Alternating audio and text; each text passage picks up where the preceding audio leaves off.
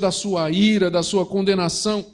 A resposta que ele dá a um povo que pergunta: em que é que o Senhor nos amou? Não é essa. Ah, eu te dei casa, comida, roupa, emprego. Não, a resposta é: eu te elegi. Eu te escolhi. Essa é a resposta de Deus. É a maior prova que Deus pode dar de que nos ama, que Ele nos chama para si pelo Evangelho, nos recebe, perdoa os nossos pecados, nos justifica com a justiça de Cristo, nos faz seus filhos, nos dá o Espírito Santo e nos faz gloriosas promessas de vida eterna.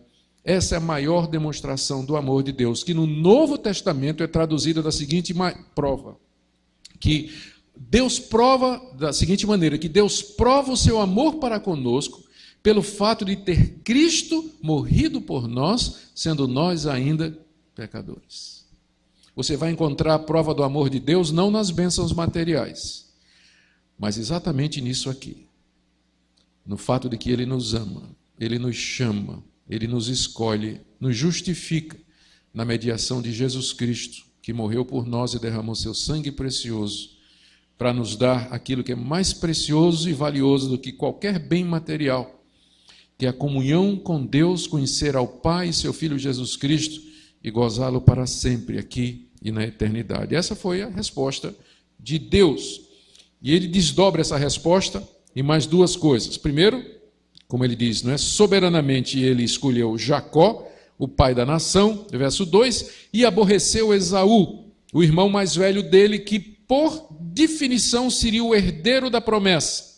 Deus o rejeita, escolhe Jacó. Verso 3: Aborreci Esaú e fiz dos seus montes uma assolação e dei a sua herança aos chacais do deserto. Como eu disse, na época em que esse livro foi escrito, a nação de Edom já não existia mais. Já estava dispersa, havia se perdido, foi dizimada, perdeu seu local, que era o monte de Edom.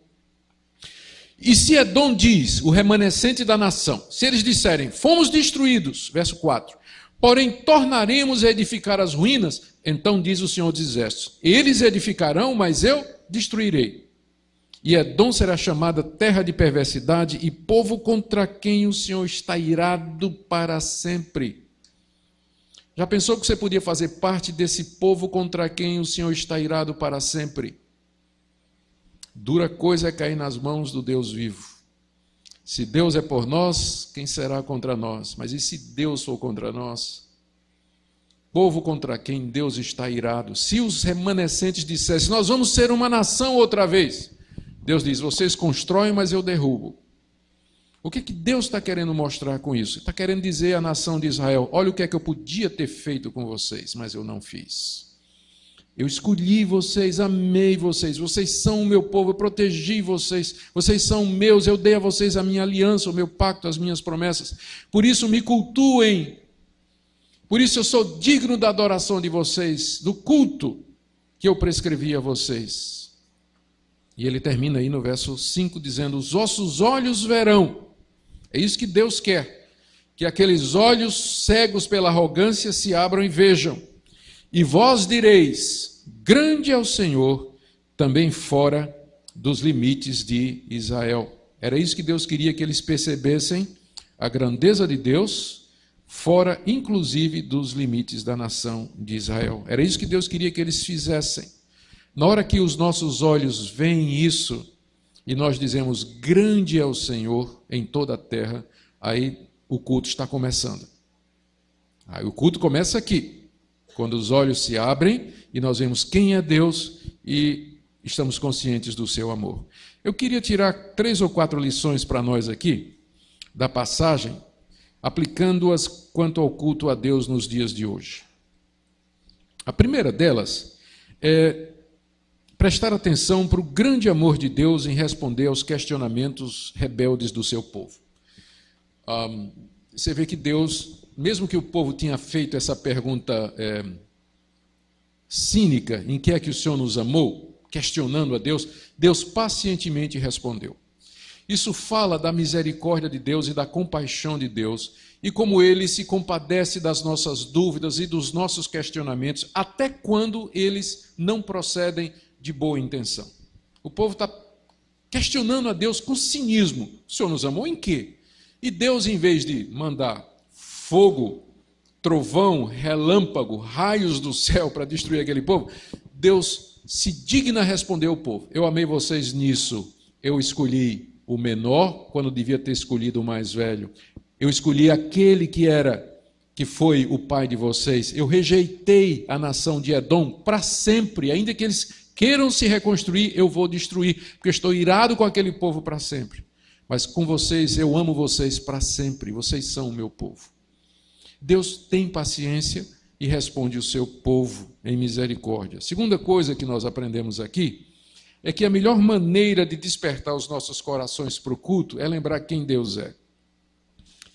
Quando os nossos olhos veem a Deus. Muita gente vem ao culto e, na verdade, não presta culto a Deus, porque para prestar culto a Deus, você tem que ter a visão de quem Deus é.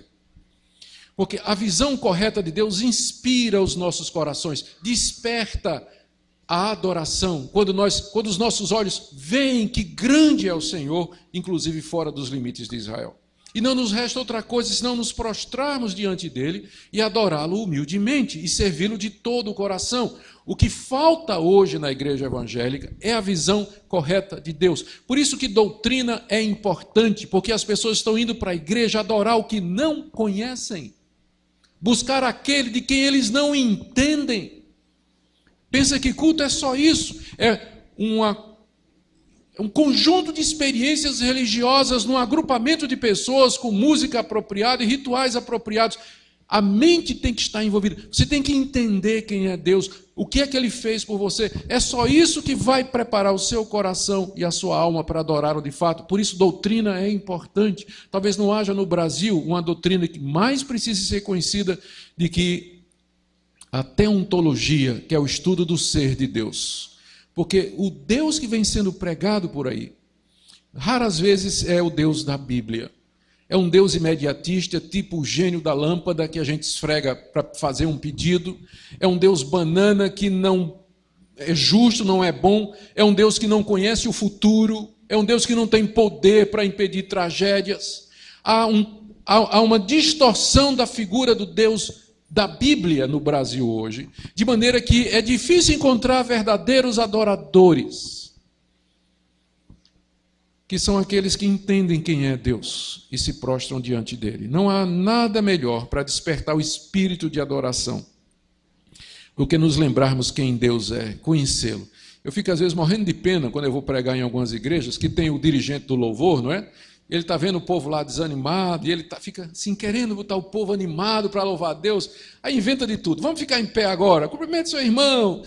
Né, levanta a mão. Vamos, roda aí ao redor. Planta bananeira. Vou fazer o trenzinho de Jesus. Alegria, gente. Aeróbica tal.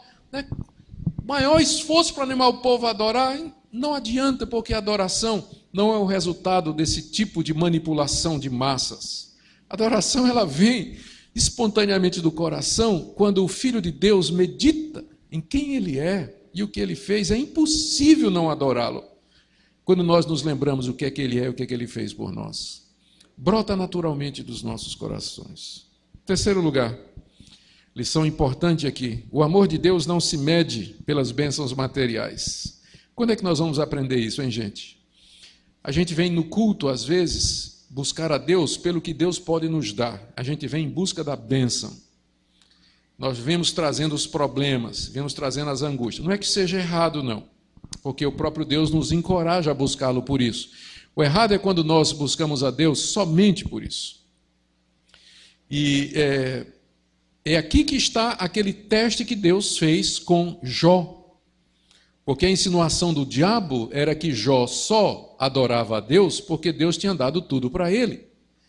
E o desafio do diabo foi: tira tudo que Jó tem para ver se ele ainda é um adorador. E Deus disse: pode ir. E o diabo tirou tudo de Jó e Jó continuou a adorar. Chorando é verdade, mas ele não, não renegou. Ele não arredou o pé da sua confiança em Deus e de cultuar a Deus. Tem uma passagem no livro de Jó que diz assim: Ainda que ele me mate, nele esperarei. Então Deus às vezes tira as coisas que nós temos para ver que tipo de adorador nós somos. Consumidores que vão atrás de Deus por causa do que Deus pode dar, ou de fato adoradores que adoramos a Deus pelo que Ele é. o Senhor grande e poderoso. E última coisa que eu queria dizer aqui é que não há prova maior do amor de Deus do que a sua escolha soberana. Isso é um conforto para nós quando tudo está dando errado.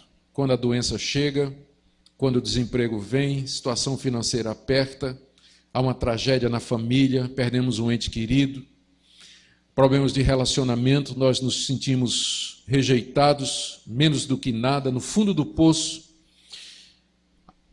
Se você, no meio disso tudo, consegue fazer a diferença e entender que estas coisas não querem dizer que Deus não te ama, então essa doutrina do amor de Deus, o amor soberano de Deus, vai fazer a diferença. É o que vai lhe segurar. Você vai saber que esse Deus que lhe ama permite estas coisas para que você cresça, para que você amadureça, para que você forme caráter cristão, aprenda perseverança e a adorar Deus em toda e qualquer situação. Amém? Vamos para a segunda pergunta.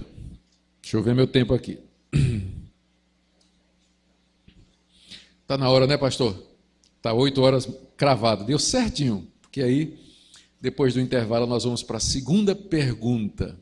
Em que é que nós estamos desprezando o culto? Eu queria orar com vocês para encerrar essa parte. E então passar a palavra ao pastor Cleiton. Vamos ficar em pé nesse instante.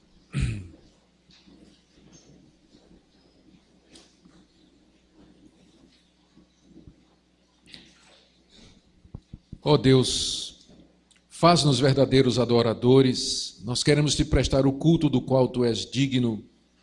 Nos ajuda a entender quem é o Senhor. E se há alguém aqui que ainda não compreendeu a tua grandeza, a profundidade do teu amor soberano e eletivo, eu peço, Senhor, que os seus olhos sejam abertos para que a doutrina da tua soberania seja doce ao seu coração e que os empecilhos mentais e emocionais sejam removidos para que essa palavra que é bíblica cale em nosso coração. Ó Senhor, purifica a tua igreja no Brasil.